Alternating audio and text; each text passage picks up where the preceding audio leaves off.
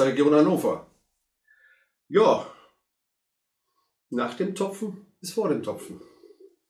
Jetzt habe ich so ziemlich alles vom Wochenende getopft bzw. eingepflanzt. Und dann war ich heute mit den Kindern auf dem Schulgelände unterwegs, um Müll zu sammeln. Beim Müllsammeln kam ich in eine Ecke, in der ich mit Mike nicht gewesen bin. Und da fand ich den hier. Auch ein Feldahorn. Schön Schwung im Stamm. Und jetzt wollen wir mal gucken. Der ist natürlich jetzt hier oben schlichtweg zu lang. Das sind auch zu lange gerade Strecken. Ähm, ob ich das so in den Griff kriege. Vor Ort hatte ich keine entsprechende Schere in der, zur Hand. Aber ich sehe ein paar Knospen. Ich gehe mal auf die ersten beiden, die ich für sinnvoll halte. Lass wieder ein bisschen was stehen und schneide mir den Finger. Na super. Man sollte nicht den kleinen Finger abspreizen, sondern fester anfassen. Hm.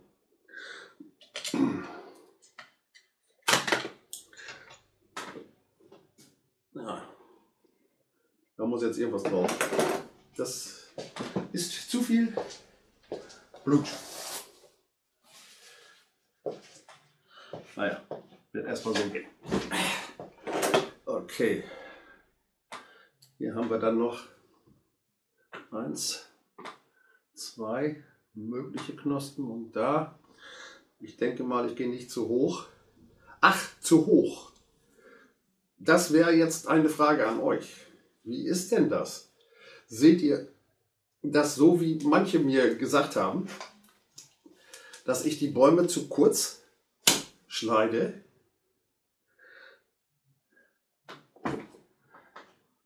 Halte ich erstmal für eine gute Frage. Die könnt ihr mir sicher beantworten.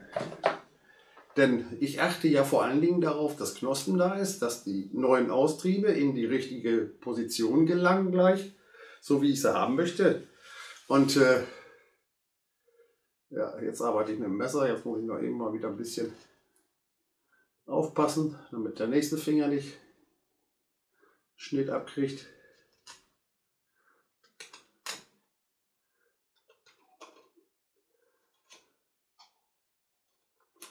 Oh, das zwiebelt ganz schön hier. Oh.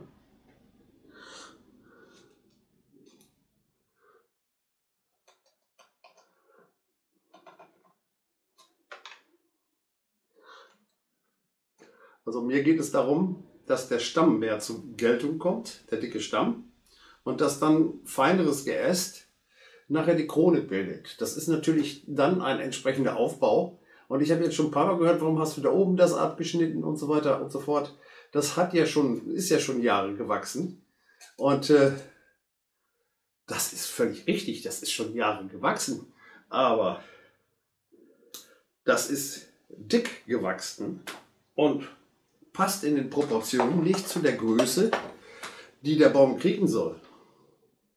Das ist so mein Gedankengang und dazu könnt ihr euch gerne ein bisschen äußern, denn irgendwie denken wir da vielleicht noch einfach andersrum.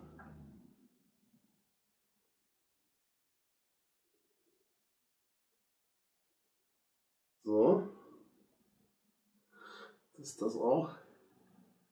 Tja. Und dann würde ich sagen, mache ich erstmal meine Grundversorgung. Ich habe doch noch irgendwo eine Packung Pflaster. Schon ewig mehr gebraucht. Aber ich sehe sie.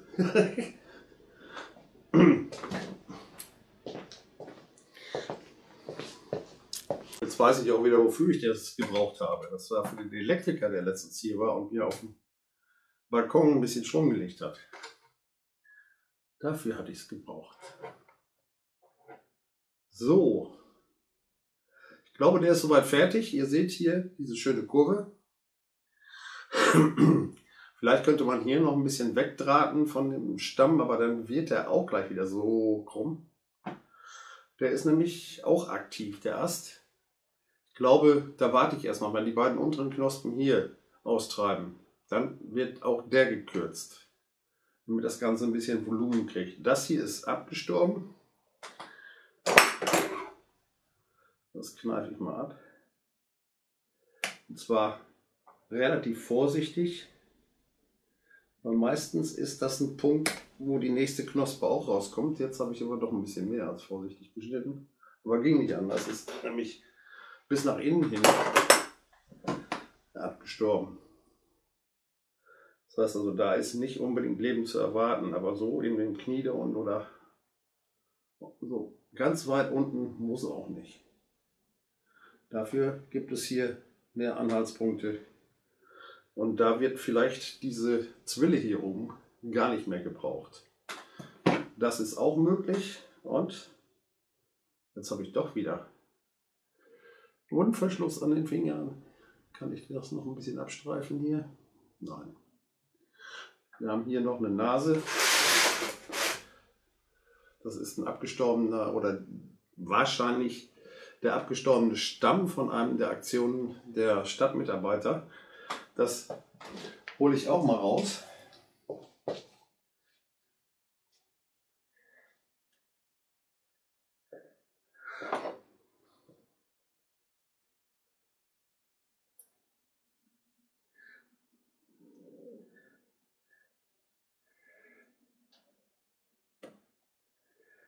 Aha.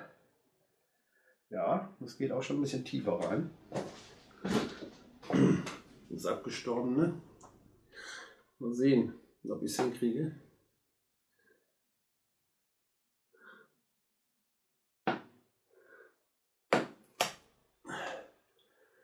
Das kriege ich wohl nicht mehr hin. Das ist. Das geht schon ziemlich tief.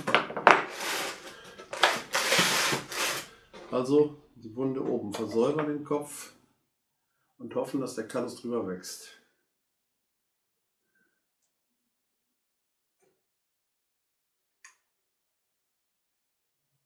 Jawohl.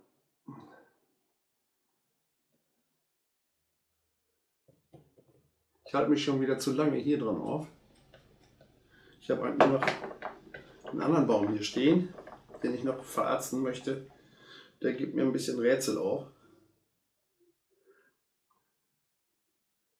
Aber das sehen wir gleich. Es ist so das tägliche Einerlei.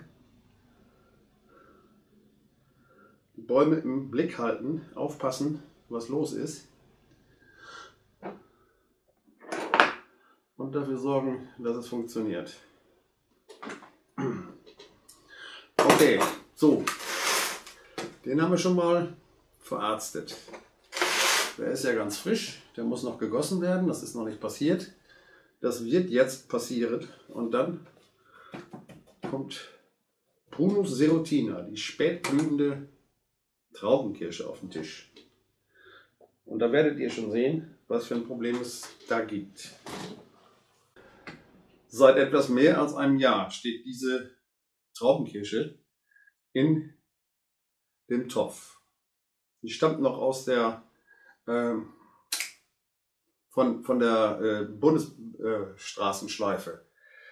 ich frage mich, was damit los ist. Hier oben ja, ist abgestorben. Aber wie weit geht das? Mit der Schere werde ich hier nichts mehr. Das ist hartes Kirschholz. Ich will den auch nicht so lange halten. Was ich hier unten habe, das ist sogar noch grün vom letzten Jahr. Ähm, das hat sich im Gewächshaus gehalten, nachdem ich so reingeholt habe. Oder aus dem Garten weggeholt habe. Ja, ist noch grün dran. Es gibt hier unten mehrere Austriebe, Knospen, alles Mögliche. Das heißt, eigentlich ist der Stamm unten sehr willig und oben stirbt es ab. Heißt, ich muss dem ein bisschen auf den Grund gehen. Und dazu habe ich mir jetzt eben die elektrische Säge geholt. Ich denke, hier oben ist alles abgestorben. Das heißt, vielleicht sehe ich am nächsten Knospenansatz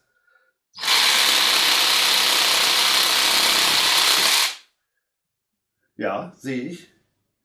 Abgestorben. Nehme ich noch ein Stückchen weiter.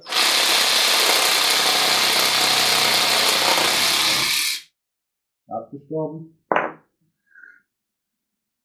Hier gibt es eine alte Wunde, vielleicht hängt das damit auch zusammen.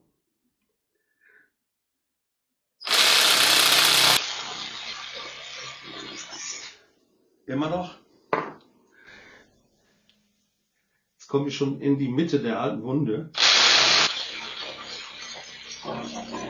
Das wackelt hier ganz schön.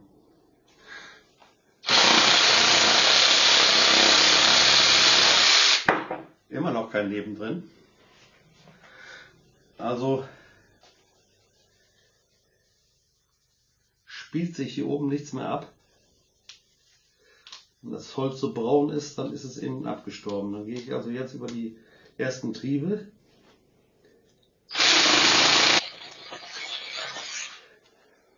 Und ist immer noch abgestorben. Ist der ganze Baum abgestorben?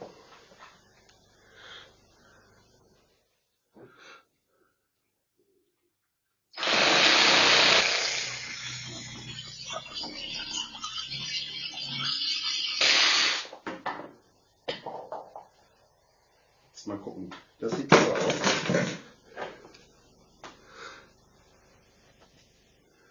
Ah, okay. Es ist Leben drin. Typisch. Nach Kirschholz. Aber ist natürlich bedeutend kleiner geworden jetzt. Scheiße. Ich dachte, ich könnte da wenigstens noch so 10 cm mehr nutzen, aber das war ein Satz mit X. Das war nix.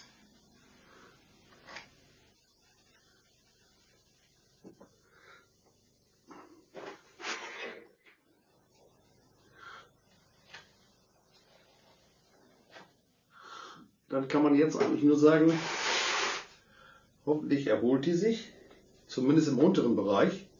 Denn der Stamm an sich hier, der ist ja richtig schön. Der hat ja richtig, richtig Power. Da ist auch ja, einiges an, an Wuchs drin. Hier kommt sogar schon wieder ein neuer Trieb raus.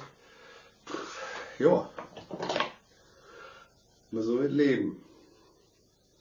Wenn das gelingt, hier oben die Sachen wachsen zu lassen, dann wird das auch ein richtig schöner Baum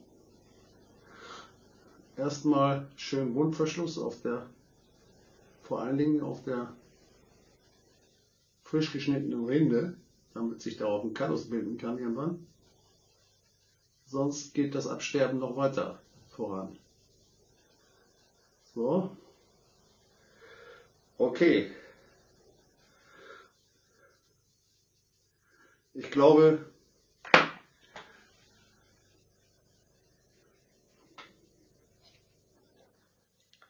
Wenn es gelingt, dann wird es ein sehr, sehr schöner Baum. Denn so einen Ansatz hm, hat man ja sonst fast nie. Erst recht nicht bei Prunus, bei Kirschen. Und das ist jetzt die spätblühende Traubenkirsche. Das heißt, dieses Jahr wird sie sowieso nicht blühen, weil es sind keine Äste da mit Blütenansatz. Aber ich denke, wenn sie überlebt und nicht weiter abstirbt, dann sehen wir sie auch wieder. Warum sie abstirbt, weiß ich nicht. Denn sie hat sich ja so ziemlich gut gehalten erst, ist auch ausgetrieben. Und das ist ja jetzt schon, ja, ich würde sagen Oktober 22 war es, glaube ich. Ist das ja schon ziemlich lange her.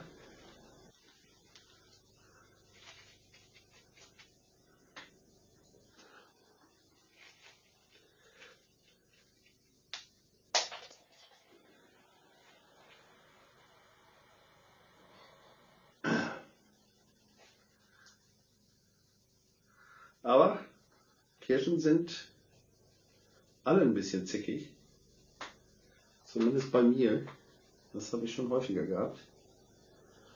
Dass die völlige, völlig unerklärbare Entscheidungen treffen. Und nicht so wachsen, wie ich das möchte. Aber okay. Das Unkraut ist erstmal raus oder das Beikraut. Und dann achten wir in Zukunft mal auf das, was da unten rauskommt. Ob das jetzt einen dicken, wurzigen Stamm mit vielen Austrieben gibt. Darauf spekuliere ich jetzt. Kommt auch mein, meiner Philosophie ziemlich nah. Wenn ihr das so, so betrachtet, hier, hier zwei Äste, hier ein Ast, hier, da, da, könnte alles was werden. Wir müssen dann nicht alles behalten. Aber das steht auf einem anderen Blatt. Das sehen wir dann später. Ich hole euch noch mal ein bisschen näher ran.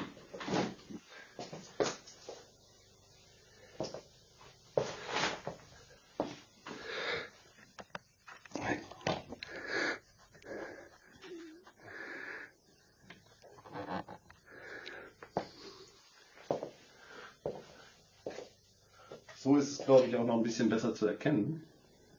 Hier richtig dicker, dicker Stamm. Mit den ganzen Austrieben hier unten. Nun, lassen wir uns überraschen. Habe ich noch was übersehen? Okay.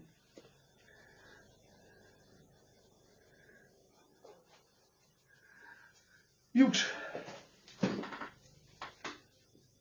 Auf geht's zum nächsten Feldauer.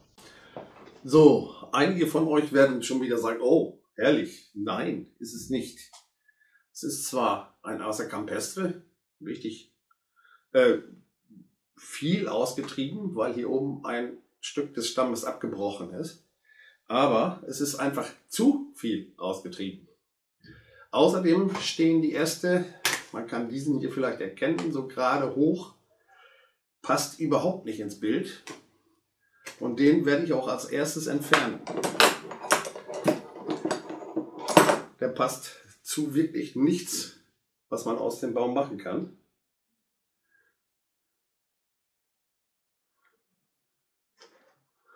Und deshalb gibt es jetzt hier eine neue Wunde.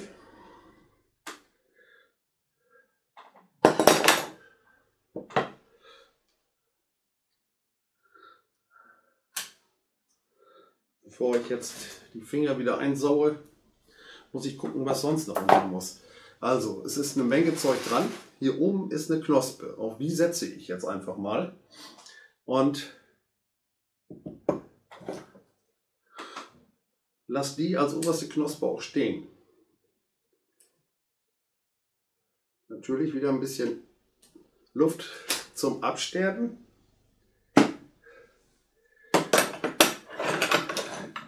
Und dann muss ich noch ein bisschen sortieren.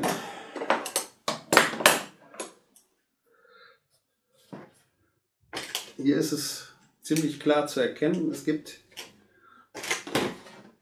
sehr, sehr viele Äste. Den ganz unten, den können wir gar nicht gebrauchen. Den nehmen wir schon mal raus. Wackelt noch ein bisschen, ist noch nicht angegossen. Mache ich auch gleich. Und gehe noch ein bisschen höher. Also ein bisschen was von Stamm wollen wir ja auch sehen.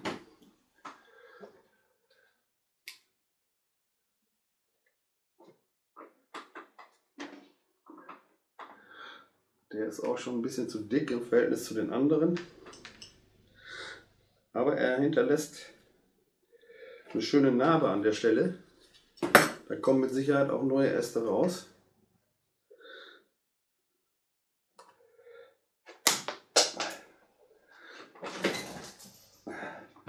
dann eine Zweit- oder Drittknospe sitzt meistens noch an solchen Ansätzen. Dann kommt hier, kommen hier eins, zwei, drei, vier Äste raus. Der und der sind nicht auf einer Höhe, sondern haben leichten Versatz. Das nutze ich jetzt mal und nehme die anderen beiden da raus.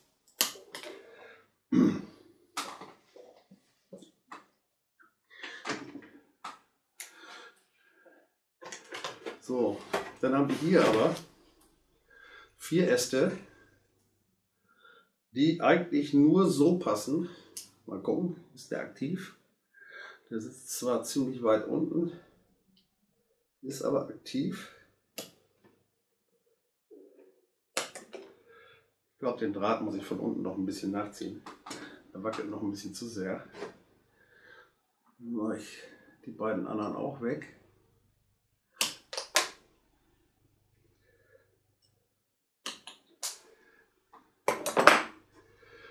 Und diesen langen Ast, den brauchen wir auch nicht. Da gehe ich auch auf die Knospen zurück, die ich sehen kann. Das sind aber auch ziemlich lange Internodien. Naja, mal gucken.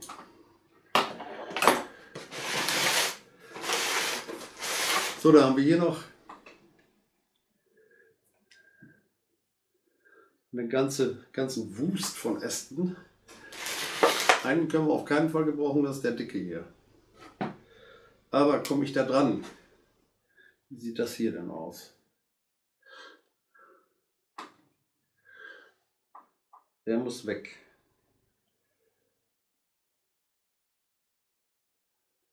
Ja, komme ich nicht dran, nicht so richtig.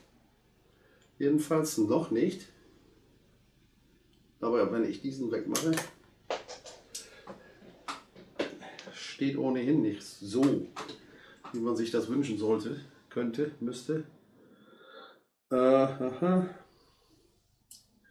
Und dann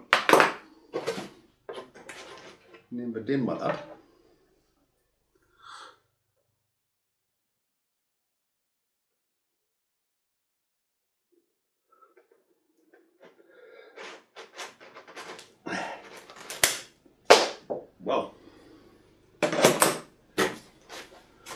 wird weniger. Hier ist ein abgestorbener Ast. Den nehme ich hiermit weg. Ihr seht schon, der ist ziemlich flach, der Stamm. Flach, aber ziemlich breit auch gleichzeitig. Ah ja, der ist abgestorben. Es geht auch richtig ins Abgestorbene hinein. Kneife ich noch ein Stück ins lebende Holz. Dann gibt es hier hm,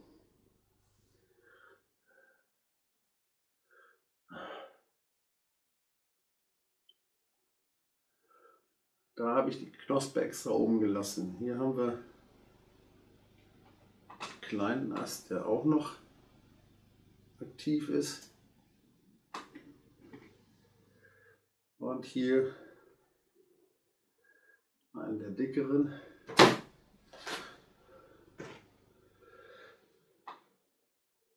Das kriege ich so gar nicht ab. Das muss ich vielleicht, damit muss ich vielleicht bis zum Sommer warten, zu sehen, was austreibt. Hier das, das alte kaputte hier, das ist vom Freischneider, aber den nehme ich raus hier. Der hat nämlich erst hier die nächste Knospe. Das heißt, das ganze Stück würde nur einfach lang und langweilig wachsen. Da kann ich besser auf andere Knospen setzen, die ich dann ein bisschen mehr, ein bisschen früher manipuliere. Hier gibt es den ersten Knospenansatz an dieser Stelle schon. Und damit wäre auch der schon mal fertig. Das heißt, natürlich gibt es noch Rundverschluss.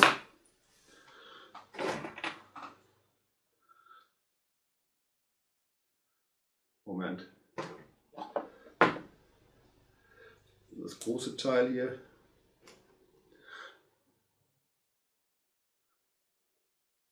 Da stehen schon kleinere Knospen in der Warteposition, so wie bei der Eiche seinerzeit.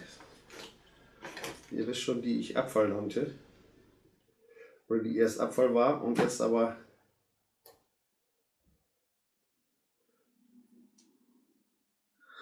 einen schönen Stamm zeigt. Ah, ich glaube, ich nehme hier die andere Wundpaste.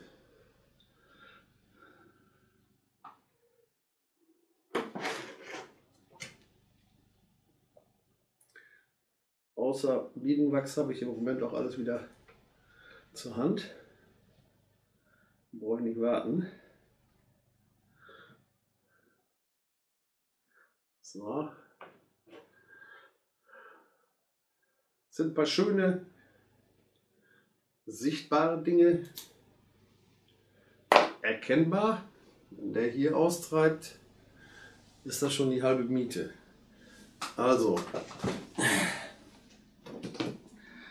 mein Glas Wasser.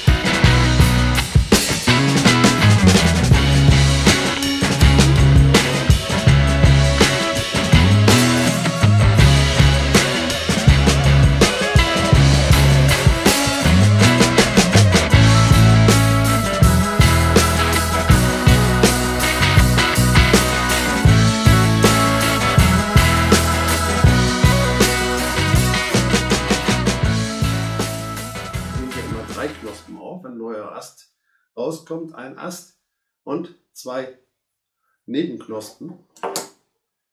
So quasi wie hier. Hier entferne ich den mittleren Ast mal. In der Hoffnung, dass es hier zwei, zwei neue Austriebe gibt. Dürfte beim Asa Campestre nicht so schwer sein. Wenn er genügend Luft und Licht kriegt. Der eine Ast da oben, zeige ich jetzt auch gleich, gefällt mir nicht so besonders, dieser hier. Weil das ist wirklich das erste Internudium, was der Ast hat. Seit Stammbeginn sozusagen. Da ist noch was, was sich entwickeln könnte, wissen wir noch nicht. Also ist auch der erstmal soweit fertig. Hier müssen wir wohl ja, sägen oder fräsen. Am besten mit einer Fräse rein, aber das mache ich jetzt nicht hier. Gerade nach der Kirsche schon eben gesaugt. Kann ich aber jetzt schon wieder. Und irgendwann muss auch Feierabend sein.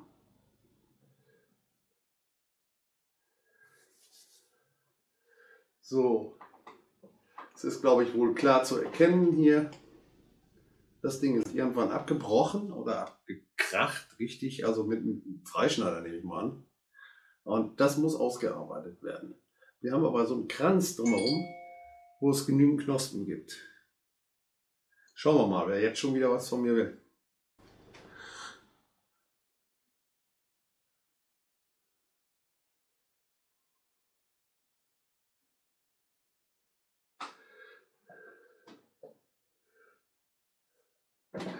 So, bevor ich jetzt wieder sauber mache, kommen die Akteure nochmal auf die Drehscheibe, alle drei, nacheinander.